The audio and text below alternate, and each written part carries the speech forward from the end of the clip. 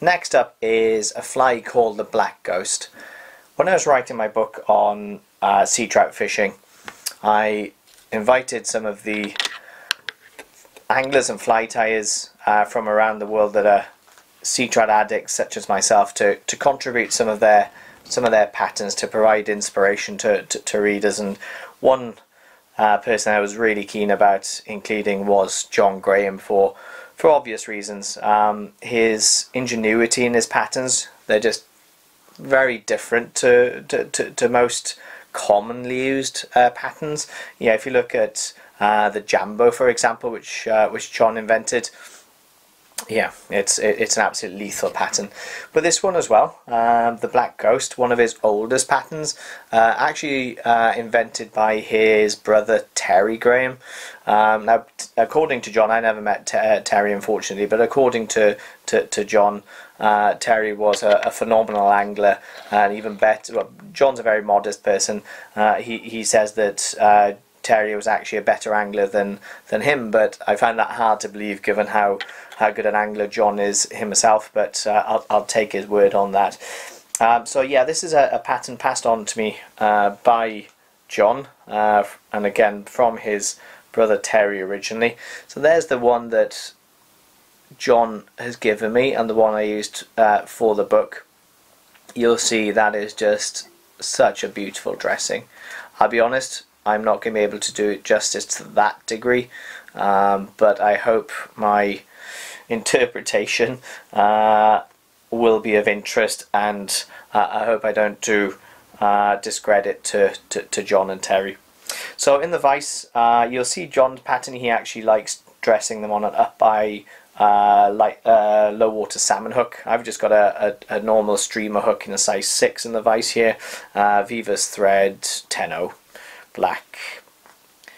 So just start off, it's a dubbed body, so you don't have to be worried too much about um, uneven, unevenness in the body as per if you're using um, uh, a tinsel body for example. The tail uh, you saw on the original as well he's done a, a little silver tag I'm going to do a simplified version from that perspective uh, and this is going to be without that without that. But so first tail uh, first part of the tail is golden pheasant topping. Let's measure that in make sure that it's riding center and make sure you're utilizing the natural curvature of that feather. When you're happy to take some securing turns. And just to help it kick up a bit don't be shy about taking one turn in underneath. I'll just stop it from falling down. Like so.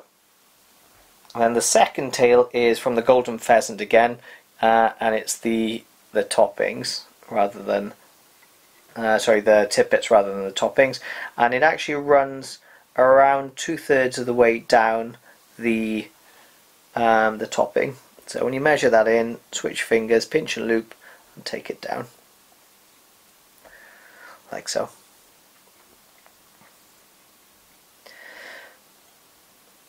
Take the thread down the body, just go over those, uh, the waist section. The rib is going to be uh, a medium silver tinsel. Just got some medium silver tinsel here. Just catch that in. When you take this down you can tidy up the body somewhat as well.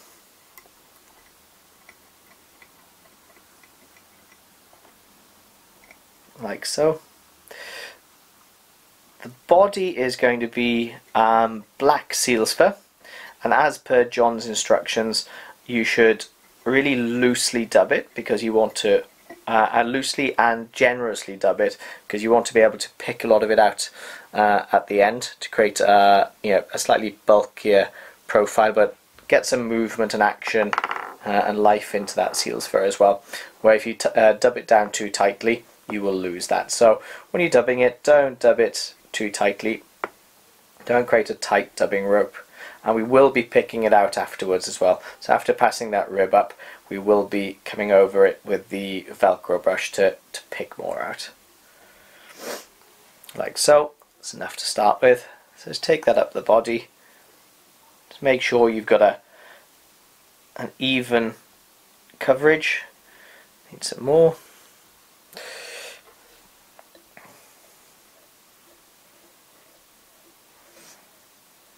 You'll see at the end it's just a, a deadly looking sea trout pattern. It's got everything in there. You know, your black, your silvers, uh, there's a bit of jungle cock, a bit of peacock, uh, just everything that you'd be looking for. A little bit of a pinch there just to even out that last section and then we're done. Again it's supposed to be pretty bulky at this stage. So brush it all back. You can see we've left that head section clear. There's actually a four part wing so uh, don't go into that section until you really have to because otherwise you're just going to add unnecessary bulk. Let's bring this rib up. Loose turns You could use slightly thinner uh, tinsel if you wanted to as well. Just seeing the rib on this. Secure that in. Take a couple of turns over. Double it back. Tie over just to give you a really secure finish on that tinsel. Snip off the excess.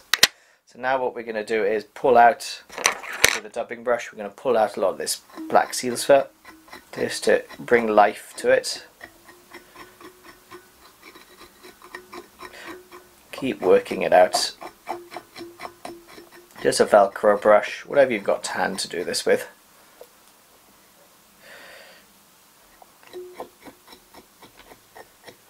Keep working it out.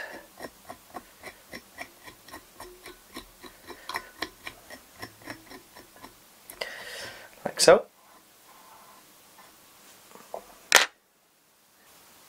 When you're happy with the body, next part is to do a hackle. Um, John recommends a black hen saddle. Uh, you may get away with a black hen neck, uh, or if you haven't got them, uh, you can also use schlappen. So I've got some nice natural uh, black hen saddle here. Just a single feather. Just take that around watch you don't trap the fibres as you go just take your time. Just working it one turn in front of the other.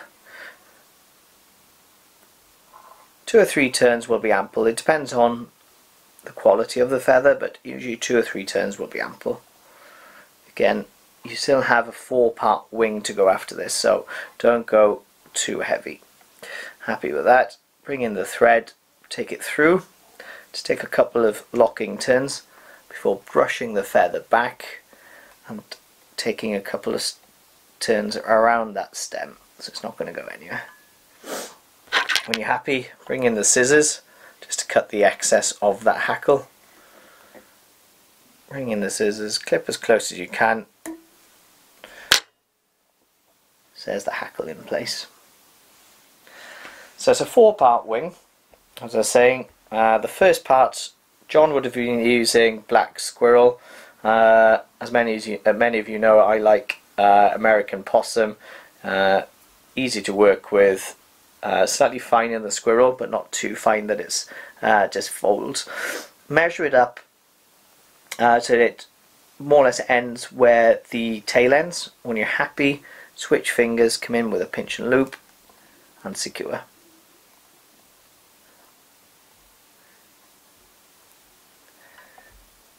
Next part is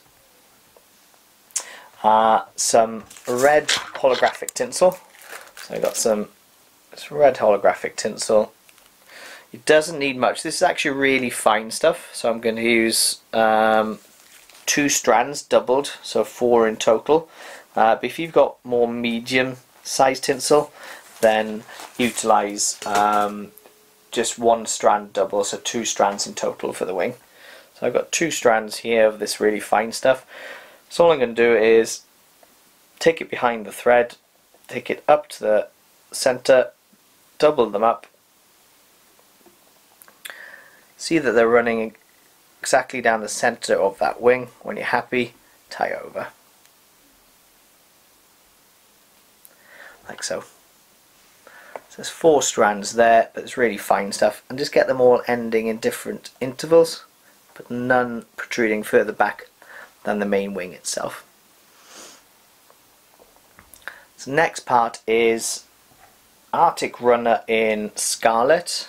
Uh, if you haven't got Arctic Runner, uh, if you got dyed red squirrel for example, that'll work fine.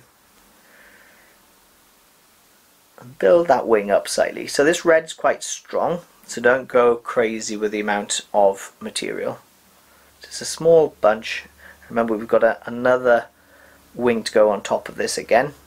Be happy, pinch and loop. Like so. What we're going to do now is snip off the excess down here, just tidy that head up a little bit. Take your time just to it'll all come together in the end. So we've got two parts left now. We've got um, some peacock sword over and then some jungle cock.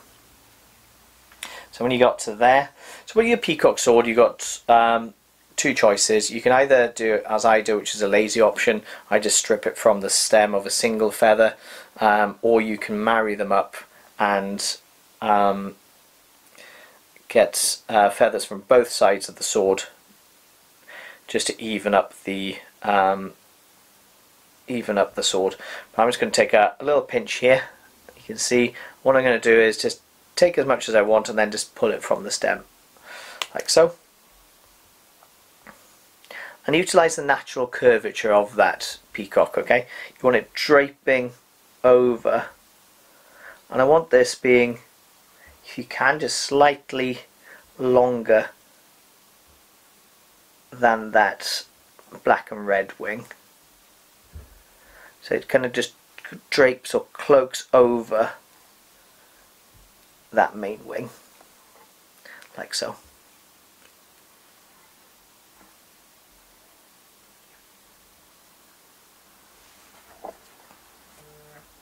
It's looking good.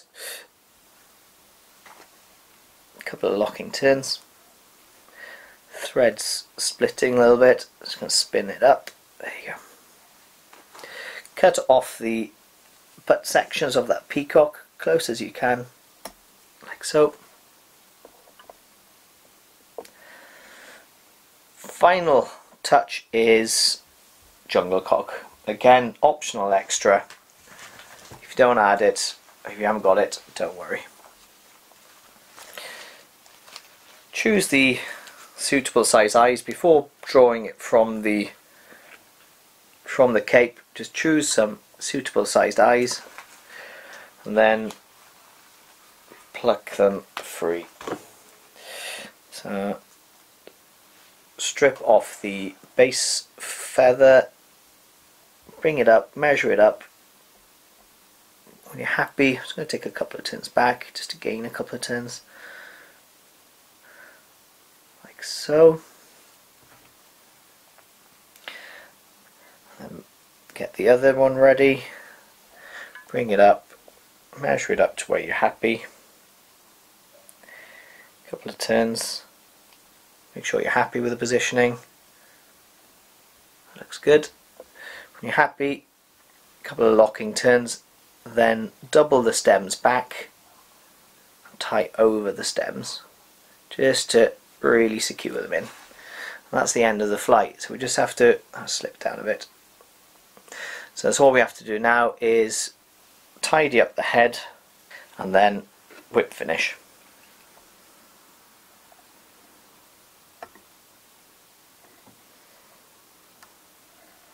So that's Terry Graham's Black Ghost, again kindly shown to me by John Graham. So thanks as always John and uh, hope you've done you justice in my tying. Uh, again not as neat as, as what John does but neat enough to catch a fish I hope. So tie a few up, take them on the river and uh, I hope they bring you luck. Tight lines.